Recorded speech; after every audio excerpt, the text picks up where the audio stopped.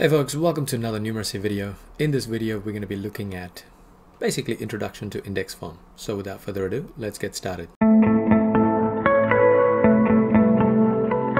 Alright, so when we have a look at the first question, we already know what this answer is. We know that 5 times 5 is 25. We, we know pretty, pretty confident with it. Now, there is another way of writing this as well. Now, you might have actually heard of 5 squared. So instead of writing this as 25, what I'm going to do is I'm going to write this as 5 squared. So this is basically just taking a whole bunch of numbers that you're going to keep on multiplying by itself, but write it in a short format. So if you look at question uh, B there, we've got how many? One, two, three, four, five. We've got five threes there. So we actually write this as 3 to the power of 5. Notice how the when I say to the power of 5. So this part is actually not written right next to the 3, but it's actually written uh, just at the top right corner of the number to know as 3 to the power of 5.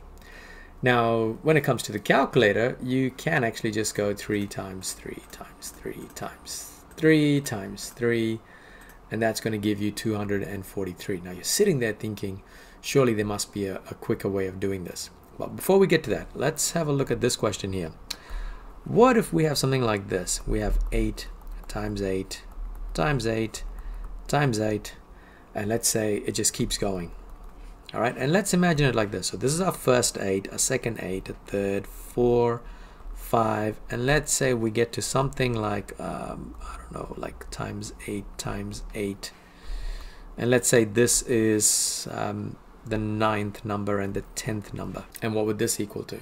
So we would actually need to go 8 times 8 times 8 times 8 times, and that's just way too long, right?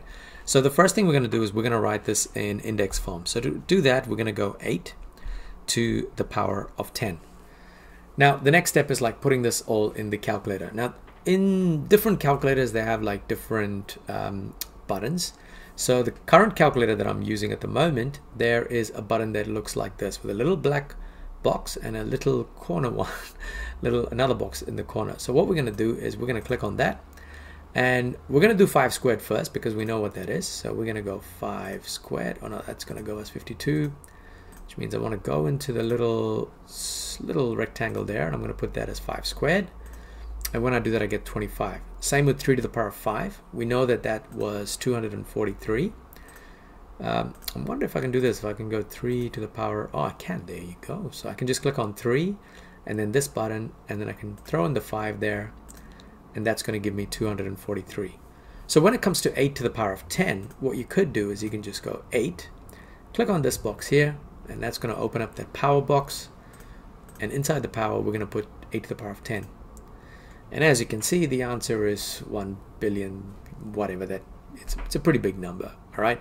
And um, yeah to save time we tend to actually use um, the index form especially writing like big numbers.